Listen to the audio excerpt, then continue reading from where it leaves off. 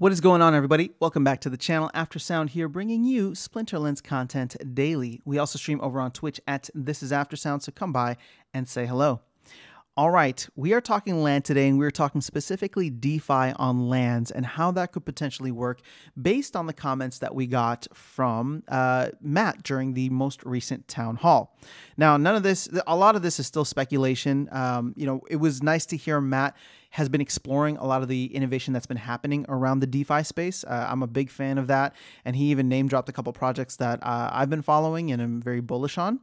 And so the fact that he's looking at these things and uh, trying to implement them and figure out how to implement them on land, I think is incredibly exciting. So there's two elements uh, that he he talked about, two main DeFi elements that he talked about during the um, town hall, and one of them I can speak to more broadly, and we've talked about here. The other one I'll mention it, but uh, you know it's it's a little bit more complex, and I think we'll have to wait until we get a little bit more information on it in the future.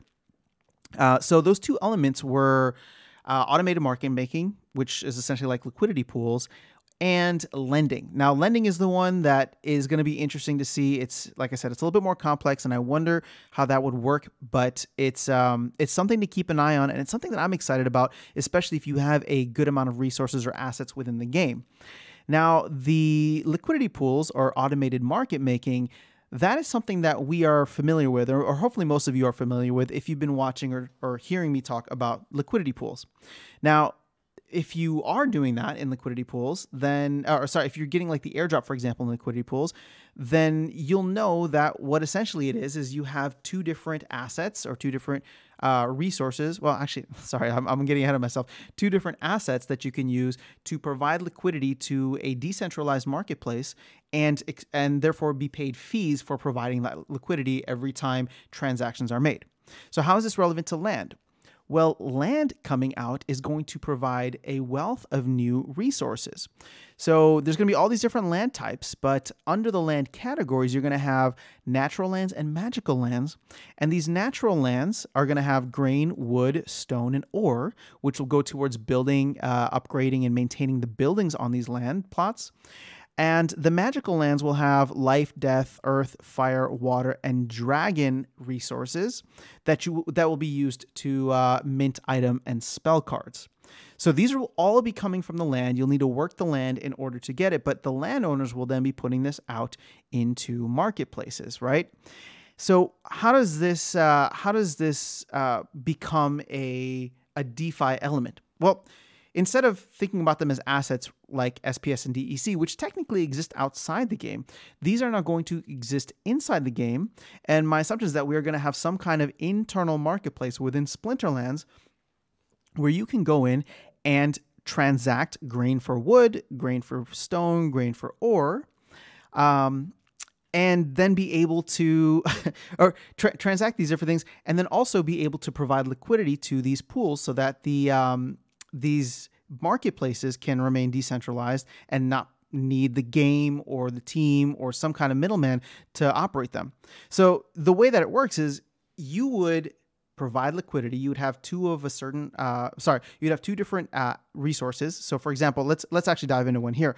You would have maybe grain and wood. And let's say i have extra right? So i've used all the ones that i need and i'm sitting on a little extra. Well i can go to the virtual marketplace and put grain and wood as a um, as you know the what what I'm adding into the pool, and therefore anytime somebody comes in to swap grain for wood, I would be paid as liquidity pro- provider a small percentage fee. And that would be paid out to all the liquidity providers, and I would get my cut of it based on the amount that I have in the pool. And so that allows me to earn passively in these resources. So let's say I have, you know, grain and wood, I put that in, all of a sudden I'm earning more grain and more wood over time, just as you do whenever you put something into TribalDEX, uh, the TribalDEX diesel pools, or into a liquidity pool on Pancake Swap or something like that. Or Uniswap is another example. So you're going to have 10 new resources that come into the game. And actually it's not it's not even that they're new it's just 10 resources that come into the game. And so therefore these markets will exist within the game rather than kind of on top of it. Because as it stands we have you know we we have two i guess you can count vouchers. So three assets with dec sps and and vouchers that kind of exist both inside the game and outside the game. We can use them within the market, but then we can also extract them from the game. Whereas these resources, you won't be able to extract from the game, and there's no reason to, right? But you would be able to probably sell them uh, for, or you know, transact them for DEC, maybe even SPS. Who knows what kinds of pools will be created uh, so that you'll be able to take something out of the game through one of those rails, right? So it's almost like a market within the broader market that we live in, the, the open decentralized crypto market. So that to me is incredibly exciting from uh, a DeFi innovation implementation. And if they're able to do that, and it sounds like that's the direction that they're going with this, I, I think that's going to be awesome. And I am super, super excited for it. So, you know, thinking more broadly about this, there's 150,000 land plots. There are 150 regions, which each contain 1,000 plots. So I was trying to think through, you know, how would this market exist? Is this maybe just a market that is, you know, uh, one one main market that everybody can kind of go to, or is this something where we could have, you know, maybe every castle and I believe there's going to be, you know, there's 150,000, sorry, 150 castles based on the 150 different regions. So maybe each of these castles offers a marketplace, and maybe the castles then take a small percentage fee of every transaction that happens within their marketplace. And for them, how how do they incentivize people? Well, maybe they lower that fee, maybe they offer some kind of benefits, maybe they do some kind of delegation, maybe they do whatever the case is. Like that is something that's interesting uh, from a you know, from, from a landowner standpoint. And I know not everybody's going to be a landowner. And that brings me to my final point, and probably one of the most important ones is what Nate has been talking about in a lot of the re- recent town halls was how do we make land something that is viable and usable and benefits everybody? Well, these DeFi elements are exactly how.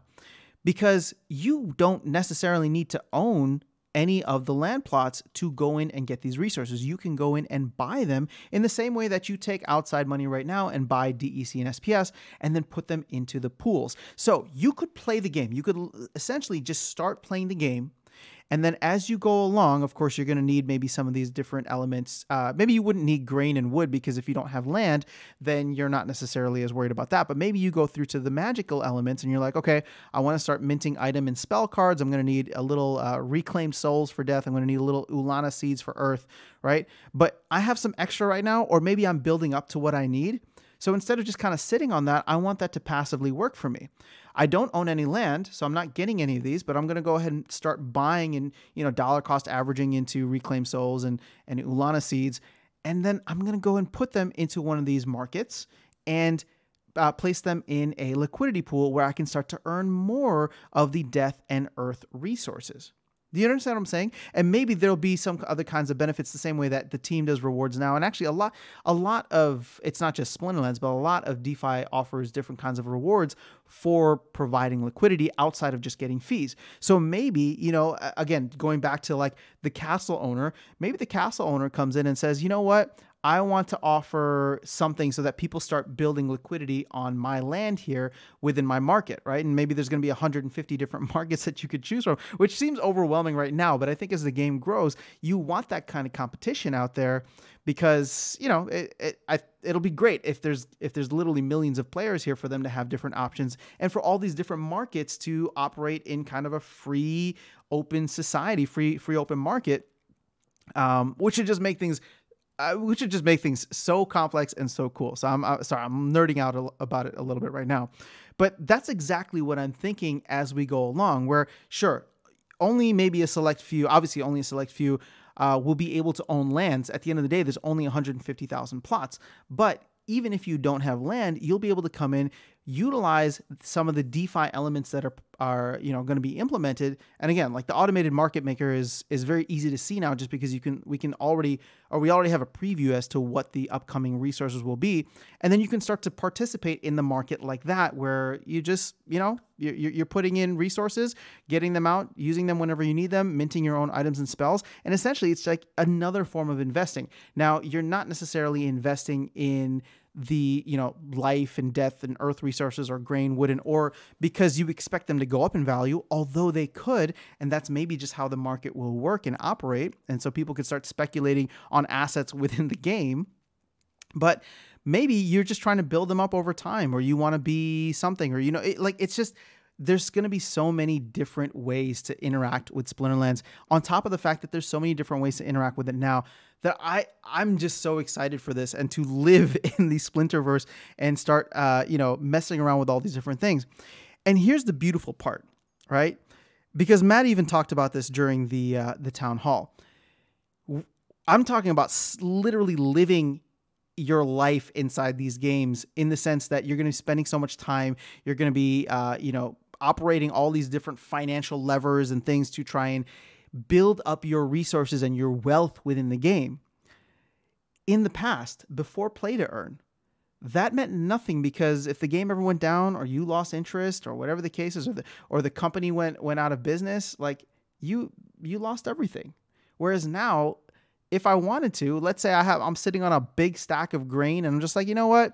Um, I, I don't think I need the grain anymore. I've, I've maxed out all my buildings. I'm going to sell my grain for DEC. And then I'm going to pull that DEC out and I'm going to go buy some ice cream with it, right? Pull it out to pull it out of the game completely, convert it to uh, Bitcoin or Litecoin or whatever, and I'm going to go to a store that you know, and then I, you, you get what I'm saying, right? I can go and do real world things with the value that is created and transacted on within the game. So that to me is probably uh, one of the most exciting things for me. Um, and again, I, am trying to present this to you in a way where it's just like it doesn't matter if you have land or not. I do have two plots and potentially might get some more, but even if you don't have land, there's going to be a lot of ways that you can interact with it. And I did, I haven't even jumped into like what Nate was talking about there being, you know, wild territory and wild monsters on these occupied lands down here where you can go and fight the monsters to extract essence. So you could actually go and use your time and your your uh, skill set within the game to go fight these monsters, extract essences. So you don't even need to go buy something like reclaim souls or Ulana seeds. You go and fight the monsters in this area and you extract some of the essences and then you go and you put them in a liquidity pool, and all of a sudden you are participating in the decentralized finance market that exists within Splinterlands.